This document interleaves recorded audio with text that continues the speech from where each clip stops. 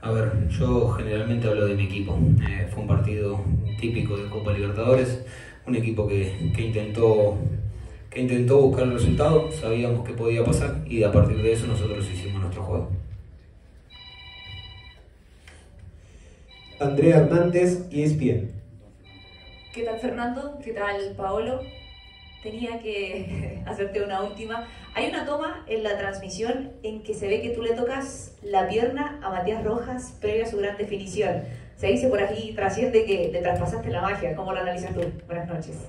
buenas noches. Eh, nada, es parte de la broma del momento, la felicidad por haber anotado ese golazo creo que viene, viene derechito este Mati, ¿no? Después los golazos que viene haciendo, así que un poquito no me hacía nada más, lo necesitaba en ese momento.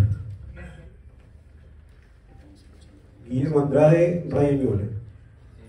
Eh, profesor, eh, buenas noches, eh, Radio Ñuble de Chigán. ¿El 2 a 0 le parece que fue, digamos, la diferencia que hubo en el partido o usted derechamente, por lo que hicieron en el campo de juego, quizás pudo ser un poco más extenso el marcador?